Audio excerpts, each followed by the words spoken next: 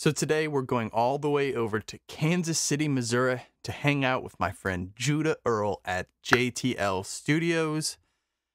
It's awesome.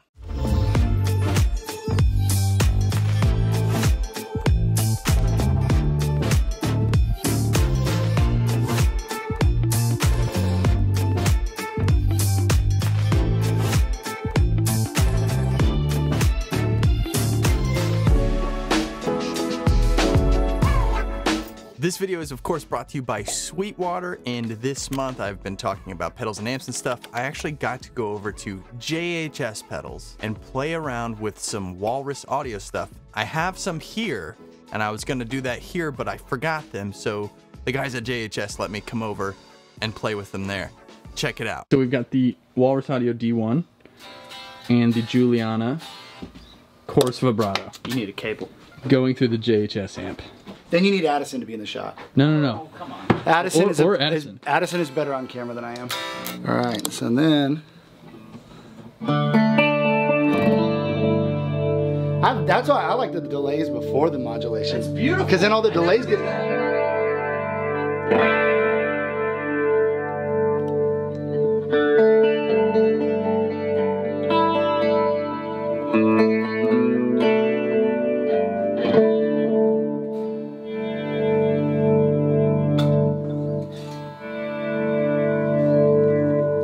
Actually got three pedals from Walrus Audio. I got the Ages, the Julianna, and the D1. They're all amazing. I put links to them down in the description. Thank you, Sweetwater, for sponsoring this video. Also, if you want to see the full JHS thing, go check it out on the membership. Link in the description. So the studio in Kansas City is amazing. My friend Jared runs the whole thing, and he's got a bunch of dudes that have really cool, amazing rooms. I actually got to go check out all of them, but today we're with my buddy Judah, who is an amazing composer, producer, writer, singer, musician, does everything, and he has this super minimalist studio. I'm not gonna waste too much time getting into it, but if you wanna follow him, I'll link his stuff and his projects down in the description. Let's go check it out. Let's check out your space. I'll follow you in here. All right, so this is uh, storage, sound lock. What was an ISO booth became a vast collection of, of instruments around the world. Yeah, dude. So how often are you reaching for these? You know, I try and learn a new instrument every year. My newest one, hailing from India, I believe, this thing's wild.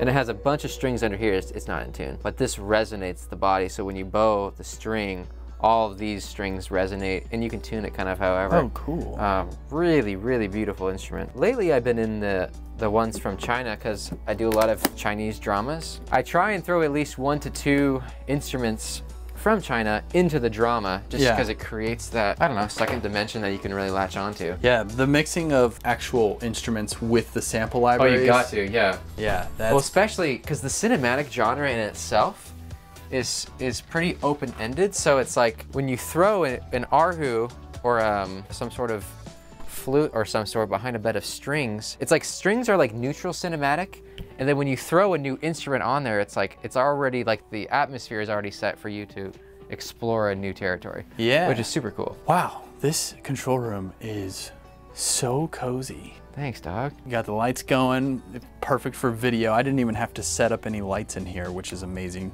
So you you do some video stuff as well? Oh, well, I try and start a TikTok. It's a whole new experience. It's it's pretty challenging. What I like about it is you gotta get to do something ridiculous. Yeah. And my latest one being, can I make music with bacon? What? I know, I don't know what I'm doing, but I Like you realized- sample- I sample sample- bacon, yeah. But here's what I realized: when you cook bacon and you listen to a vinyl, bacon crackles at about a similar frequency as a vinyl. So I remixed this old song, "Put Your Head on My Shoulder," and then when I say shoulder, I throw bacon in there instead of a vinyl crackle. You know, I lo-fi everything out. Yeah. And it kind of worked. You know, so that's kind of what I what I do there. Just kind of be ridiculous, and and uh, we'll see what happens. Dude, that's awesome. Yeah. Well, this is a super comfortable room.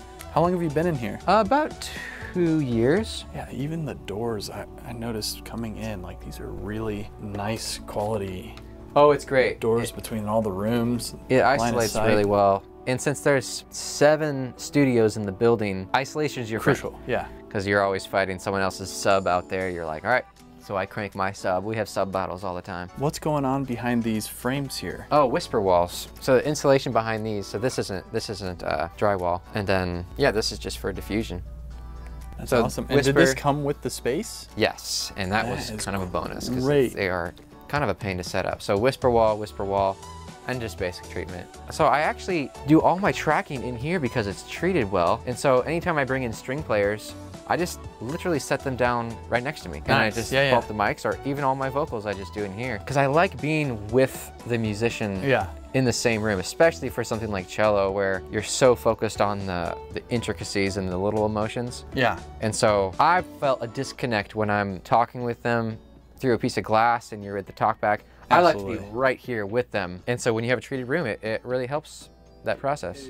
Where this couch is in relation to where you're sitting is like the perfect distance for client or artist or musician. Right. And if we're co-writing, it's not, it's close enough for a mic. So I literally, they just sit right there. I Yeah. put the mic right in front of their face, slap some headphones on from my interface. And yeah, yeah it kind of works out nice. Even though I know we all love the big rooms, Sure. um, sometimes like the the outboard island, that separation where you're like, hey, Yeah. uh, could you so, oh, and then there's like that awkward like, oh, I'll come up there and then Sure. hover over you and that whole thing. So yeah, I, I really like the the balance here. You know, it's still comfortable and it's not cramped. That's one thing I noticed about this space is it feels very minimalistic. You know, you sort of it seems like you're using only what you need. To coin the phrase, that's exactly what we do over here. Could you just give me a little run through of your rig here? I see the old cheese grater.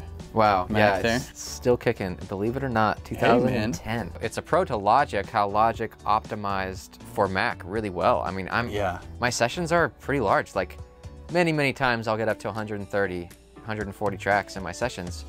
And the crazy thing is, is when you're in film, you don't really have the luxury of freezing tracks Yeah. um, because of last minute edits. And so for 100 and, 130 tracks to be unfrozen Yeah. and running plugins, Yeah. and I've had relatively minimal issues. It's it is a pro to Logic how it's optimized with with with Mac. What operating system are you running? Oh, High Sierra. High Sierra. Wow. Yeah, yeah, I know, right? Stone Ages. That's amazing.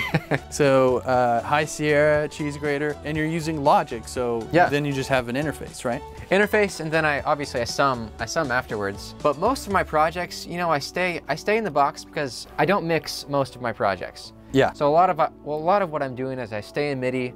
I export the MIDI. I get the score ready for the Yep. orchestra, and then they play it. There's a, a few microphones I like to use for different instruments, but I track it here and then I send it out to mix. And so Yeah. that's kind of worked for my setup. Although there's you know there's always room to grow. It's really nice to be able to do that, though, to not have to do both. Oh sure. Oh, it speeds up the process. Composing, the recording, and the mixing is, especially with all the layers of approval, usually. Oh, for sure, yeah. Film. Well, because when you're cranking out, you know, sometimes one track a day, sometimes they're like, hey, we need the score by midnight. When the rolls are so precise, you can really get content quick, which is what I really like about the industry I'm in. Explain the interface. You said you're doing also some conversion.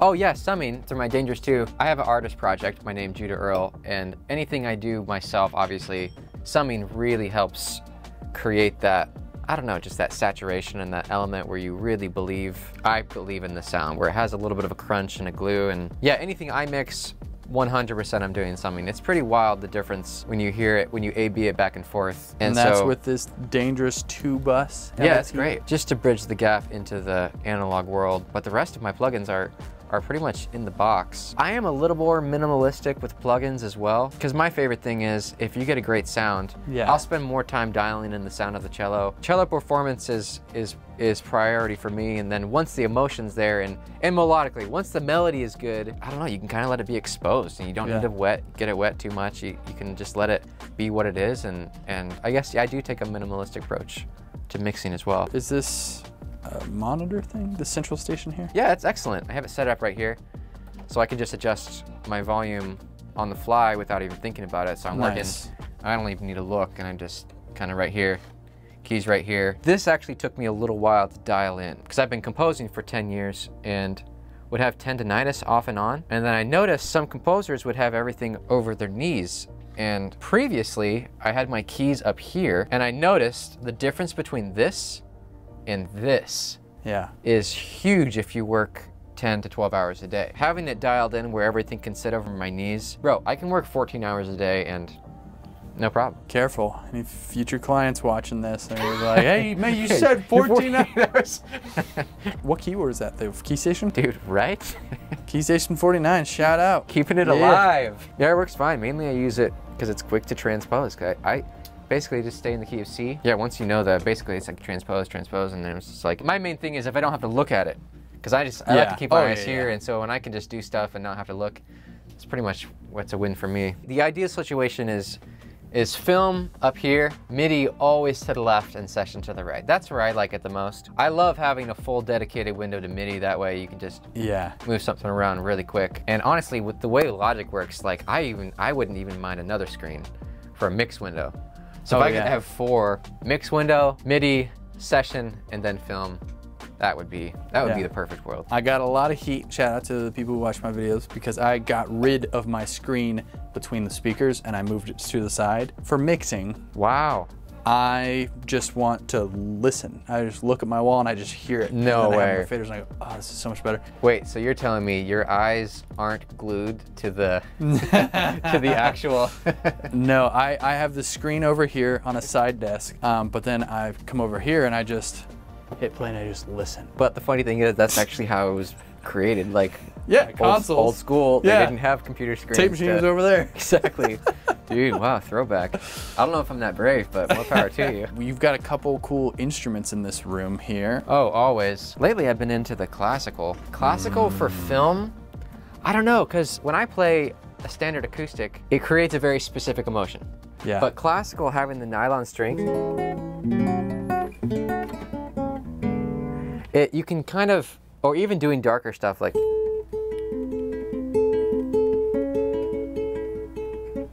It makes the emotion more neutral versus niche. And so for me, classical with film really, really helps create a neutral palette. Then you can play with the intricacies of going, okay, fearful plus timid. Yeah. Then you can start layering the emotions. And so classical helps helps me quite a bit with that.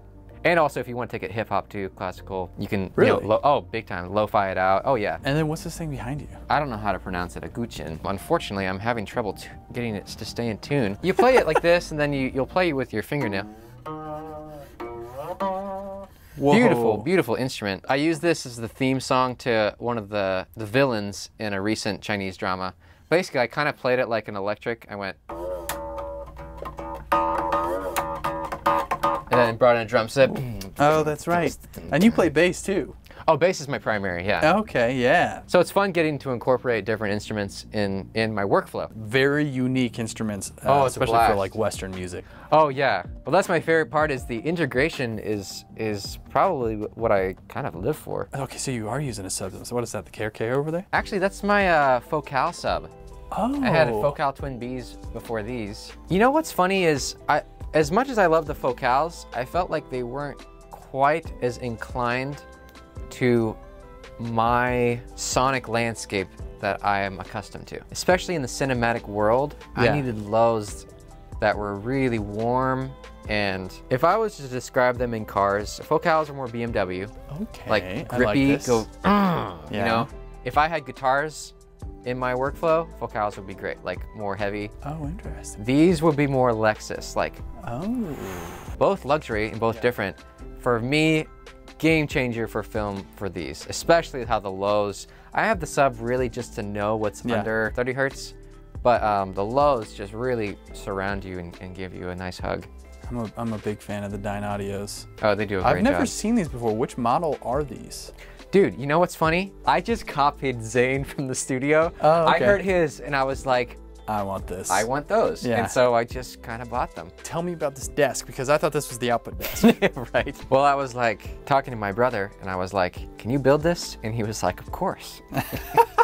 so he like is a 3D designer, so he put it out. He designed the whole thing in 3D and it's like, "This is what we do." And so this like, a day. is the output platform design. I know, and the funny thing is, they give you the designs on their website. Uh. we did make a little bit of a mistake here, unfortunately. There's not enough rack space for. Oh, everyone. We're like, well, swing and a miss there. I'll get the output sidecar. We'll give him a shout The out. The output sidecar is cool. Yeah, it's pretty vibey. Yeah. What is this guy here? Oh, the Lauten. Okay, so this is Lauten. I keep hearing Um, about this Lauten stuff. Oh, dude, amazing microphone for vocals. I do a lot of vocals. I also have a pop project with another guy here at the studio, which I'm sure you'll hear about later. What's it called? Supercuts. Supercuts. Okay. Yeah. Spotify. Spotify, yeah. Just Okay. type in Supercuts, all one word. What I love about this microphone is the F creates this beautiful top end, which is so funny because in my mind, top end, I'm like, okay, you can add top end with EQ. Mm-hmm.